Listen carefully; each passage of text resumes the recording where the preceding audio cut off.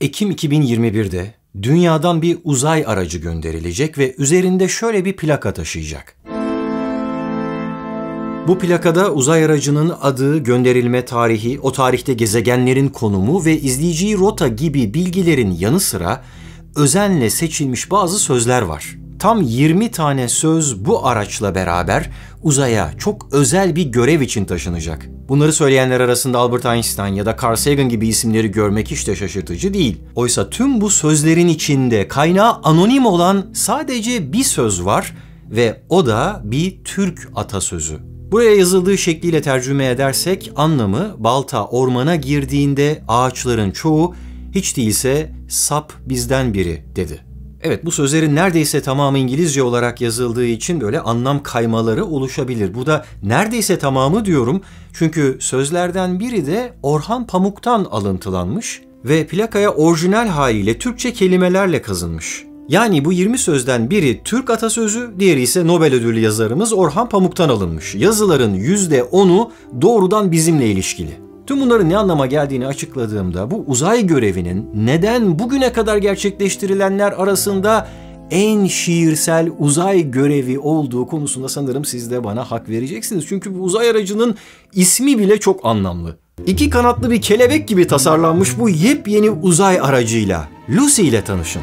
Evet aracın adı Lucy. Çok sevimli bir kız ismi fakat size gösterdiğim o üç boyutlu görselleştirme ile ses tonum pek uyuşmadığı için şu tanıştırma işlemini başka bir görselle tekrarlayalım. İki kanatlı bir kelebek gibi tasarlanmış bu yepyeni uzay aracıyla Lucy ile tanışın. Lucy 16 Ekim 2021'de uzaya fırlatılacak. Daha doğrusu fırlatma penceresi o tarihte açılacak ve ben de bunu canlı olarak yayınlayacağım. Üstelik bu araç Trojan asteroidlerine gönderilen ilk uzay aracı olacak. O yüzden tasarımına yıllar önce başlandı ve her parçası büyük bir titizlikle hazırlandı. Bu parçalar birleştirildikten sonra da dayanıklılık testlerinden geçirildi. Uzayın çok sıcak ve çok soğuk olabilen zorlu koşullarına dayanabilmesi için gereken her türlü tedbir alındı. Çünkü onun gideceği yer bunu gerektiriyor. Trojan asteroidleri güneş sistemimizin belki de en ilginç gök cisimleri. Her şeyden önce isimleri ilginç ve bir şekilde yine bizimle bağlantılı. Trojan diyorum dikkat ederseniz. Şu anda Çanakkale ilimizin sınırlarında yer alan Truva'da geçen o mitolojik savaştan geliyor bu isim. O yüzden videonun bundan sonraki kısmında ben de Trojan asteroidleri şeklinde İngilizce orijinalinden çeviri yapmak yerine bizdeki kullanımıyla Truva asteroidleri demeyi tercih edeceğim. Diğer ilginç bir nokta ise bunların konumuyla ilgili. Asteroid kuşağını biliyoruz öyle değil mi? Mars'la Jüpiter arasında yer alan ve Güneş'in etrafında dönen irili ufaklı bir sürü asteroitten oluşan bir kuşak bu. Fakat bizim Truvalı asteroidler orada değiller.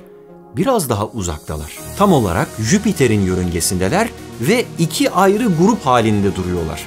Bir grup Jüpiter'in önünde, diğer grup arkasında. Astronomlar az önce sözünü ettiğim destandaki savaştan ötürü birine Yunanlı grup, diğerine de Truvalı grup adını vermişler. Bu iki grup tam olarak Jüpiter'in 60 derece önünde ve arkasında yer alıyor. Düşünün Jüpiter güneşin etrafında dönüyor. Önünde bir grup asteroid, arkasında bir grup asteroid. Ne Jüpiter önündekilere çarpıyor ne arkasındakiler Jüpiter'e. Epeyce ilginç bir geometrik durum öyle değil mi? Aslına bakarsanız gök cisimler arasında böyle özel bazı noktaların oluştuğunu bir süredir biliyorduk. Burada oluşan durumun açıklamasına gelince Güneş sisteminin en büyük iki kütlesi nedir? Tabii ki başta Güneş ve sonra da onun etrafında dönen gezegenlerden en büyüğü Jüpiter. İşte bu asteroidleri bir yandan Güneş çekerken diğer yandan da Jüpiter çekiyor ve bunlar da bulundukları yörüngede sabit kalıyorlar. Bu özel noktalara Lagrange noktaları adı veriliyor. Yani biri diğerinden daha küçük iki kütlenin yarattığı potansiyel denge noktaları. Tam da bu yüzden bu özel noktalarda eğer bir cisim, bir gök cismi varsa anlıyoruz ki bunlar çok çok uzun süreden beri oradalar. Ta güneş sistemimizin oluşmaya başladığı ilk dönemlerden beri orada dönüyorlar. O dönemde büyük kütleli başka cisimler asteroidleri kendine çekip büyüyerek gezegenlere dönüştü. Oysa bu asteroidler sürekli denge konumunda kaldıkları için başka hiçbir gök cismiyle birleşemeden dönmeye devam ettiler. Milyarlarca yıl boyunca. O yüzden bunlara gezegenlerin artıkları ya da gezegen fosilleri dersek pek de yanlış bir şey söylemiş olmayız. Gezegen fosilleri. Yine şiirsel bir ifade. Aslında çok da anlamlı. Çünkü dünyamızın geçmişini nasıl anlıyoruz? Bulduğumuz fosillere bakarak. İşte güneş sisteminin geçmişini de bu çok yaşlı taşlara yani Truvalı asteroitlere bakarak anlamaya çalışabiliriz. Bu uzay görevinin şiirselliğiyle ilgili bir başka ipucunu da bu uzay aracının ilk ziyaret edeceği asteroidin adından yakalıyoruz. Bu asteroidin adı Donald Johanson isimli bir antropologtan geliyor. Bakın astronom demiyorum, antropolog diyorum. Ne işi var bir antropoloğun isminin uzayda dönen bir gök cisminde? Şimdi size onun hikayesini anlatayım. 1974 yılında daha 30'lu yaşlarında çok genç bir akademisyen olan Donald, Etiyopya'da bir araştırma yürütüyordu.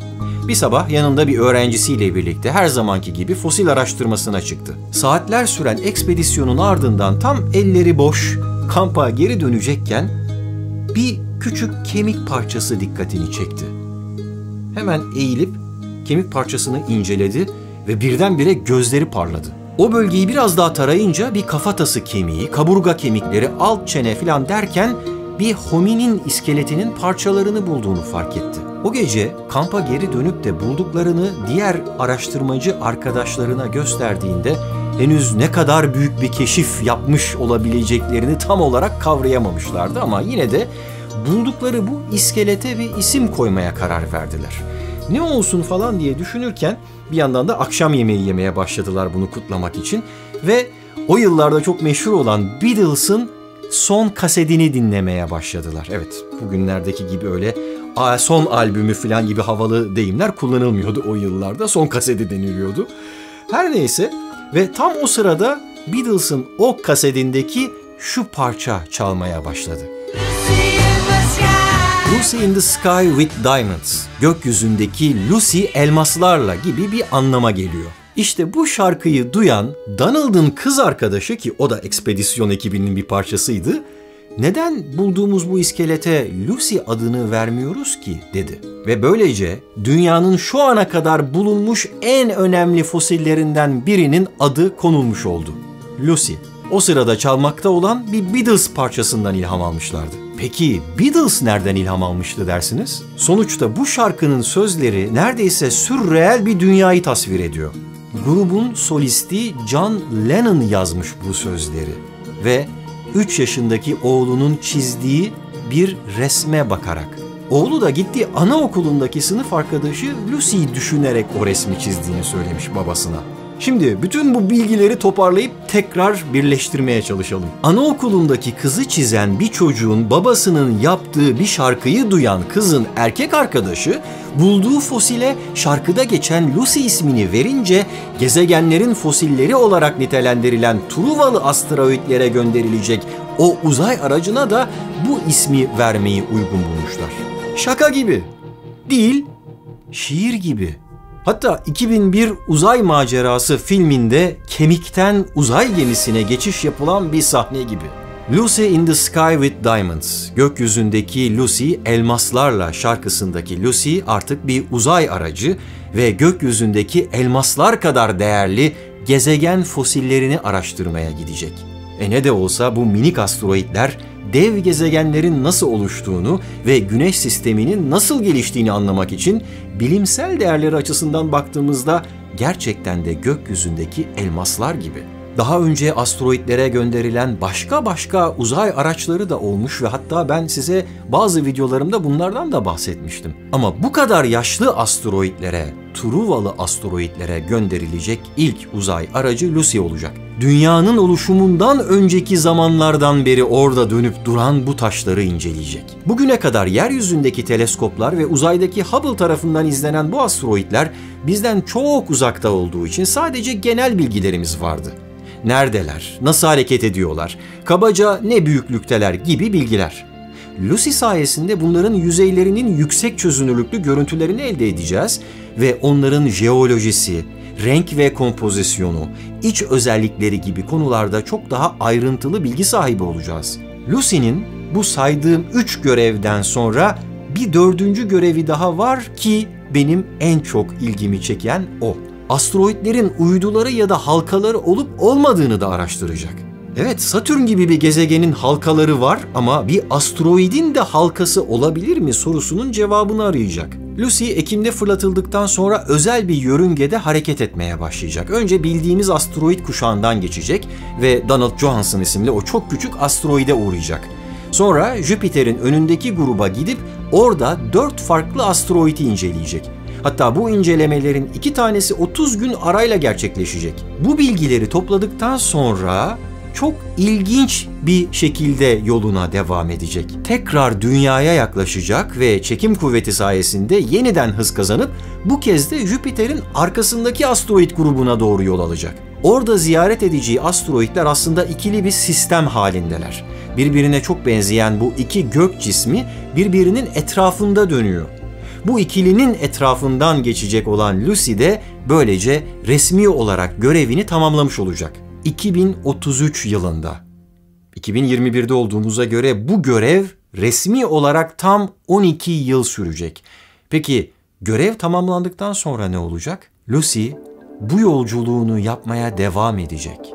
Tekrar tekrar. Onun için tasarlanan bu uçuş rotası da tıpkı Truvalı asteroidlerinkine benzer şekilde son derece dengeli bir durumda görev süresi bitince Lucy'nin enerjisi kalmasa ve artık bize verileri gönderemese de aynı rotada hareket etmeye devam edecek. Yüz binlerce yıl boyunca bir Jüpiter'in önündeki asteroidlere uğrayacak, bir arkasındakilere. Bu ikisinin arasında da sürekli olarak yolu dünyadan geçecek, dünyaya yaklaşacak. Bir anlamda ondan güç alarak yolunu, varlığını sürdürecek. İşte bu da bizi neden onun içine özellikle seçilmiş 20 tane sözün yerleştirildiği konusuna getiriyor. Aslına bakarsanız uzay araçlarının içine buna benzeyen sözler yerleştirme fikri yeni değil. Güneş sistemimizden ayrılan ilk uzay aracının içine de yerleştirilmişti. Belki bir gün bu araç uzayın derinliklerinde başka bir akıllı yaşamla karşılaşabilir diye. Voyager plakları adı verilen bu mesajlarla ilgili başlı başına bir podcast yayına verdim. Dileyenler açıklamalar bölümündeki linkle dünyadan gönderilen o mesajları dinleyebilir. Çünkü sadece yazılı değil, sesli mesajlar da var orada. İşte yeni gönderilecek olan bu Lucy adlı uzay aracı da aynı geleneği sürdürüyor. Fakat önemli bir fark var. Voyager sürekli olarak bizden uzaklaşacak şekilde tasarlanmıştı. Nitekim uzunca bir süre önce güneş sistemimizden çıktı ve hala yoluna devam ediyor. Oysa Lucy az önce de söylediğim gibi görevini tamamladıktan sonra sürekli olarak Jüpiter ve Dünya arasındaki bir yörüngede kalmaya devam edecek. Yani günün birinde başka akıllı yaşamlardan çok yine bizim gezegenimizdeki insanların onu bulma ihtimali daha yüksek. Lucy bu yönüyle bir çeşit zaman kapsülüne dönüşecek. Hani bazen bazı okullarda ya da kentlerde 50 yıl, 100 yıl sonra çıkarılmak üzere toprağa içinde çeşitli mesajlar olan kapsüller yerleştirilir ya. İşte bu kez Lucy toprağa değil de uzaya bırakılan bir zaman kapsülü olacak. Dolayısıyla onun üzerine yerleştirilen plakadaki o 20 söz uzaylılara değil, bizim kendi torunlarımıza bıraktığımız mesajlar aslında. İşte bu gözle o plakaya baktığımızda yapılan seçimler anlam kazanmaya başlıyor. Beatles grubunun üyelerinden alınmış bazı sözler de var o plakanın üstünde. Ve 2006'da Nobel Edebiyat Ödülü alan ünlü romancımız Orhan Pamuk'un uzaya bırakılan o plakaya Türkçe olarak yazılan sözlerini gelecek nesillere bırakılmış bir mesaj olarak anlamamız gerekiyor. Peki ya oradaki Türk atasözüne ne demeli? Bu sözü seçip de oraya gönderen kişi Billy Collins, Amerikalı bir şair. Balta ormana girdiğinde ağaçların çoğu hiç değilse sap bizden biri dedi. Cümlesinin İngilizcesi olarak yazılmış. Böyle bir atasözünü hatırlayan var mı? Zannetmiyorum. Çünkü onu biz bu versiyonuyla kullanmıyoruz. Ben bu sözü okuyunca bizim kullandığımız versiyonunu hatırlayabilmek için birkaç yıl kadar önce hazırladığım atasözleri defterine başvurma ihtiyacı duydum. Bu defterin tasarımını bizzat kendim yaptım. Hatta buraya da bir logo yerleştirdim. Fakat he, atasözlerini bir defter satırı haline gelebilmesi için epeyce bir küçülttüğümden okuyabilmek için büyüteç kullanmak gerekiyor. Ve nitekim aradığım cevabı bu büyütecin yardımıyla defterin 47. sayfasının 10. satırında buldum. Biz bu atasözünü ağaca balta vurmuşlar, sapı bedenimden demiş şeklinde kullanıyoruz. Tüm bu atasözlerinin içinden Neden özellikle bunu seçmiş olabilirler sizce? Ağaca balta vurmuşlar, sapı bedenimden demiş. Biraz düşününce ben kendi adıma bir teori geliştirdim ama sizlerinkini de duymayı çok isterim. Eğer yorumlar bölümüne yazarsanız onları da okumayı gerçekten çok isterim. Gelecek nesillere, torunlarımızın torunlarının torunlarına neden böyle bir mesaj bırakıyoruz? Ve daha da önemlisi kendi atalarımızdan bize miras kalan bu mesajı onların torunları olarak bizler ne kadar anlayabiliyoruz?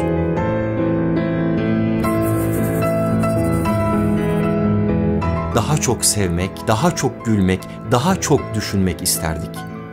Daha çok görmek, daha çok anlamak, daha çok güvenmek isterdik. Şimdi bizden kalanlar bu istekler ve bu kelimeler. Huzur, rüyalar, uyku ve öpüşler vardı. İnsanlar, meyveler, kağıtlar ve kalemler de vardı. Çünkü hiçbir şey hayat kadar şaşırtıcı olamaz. Yazı hariç. Evet tabii. Tek teselli yazı hariç.''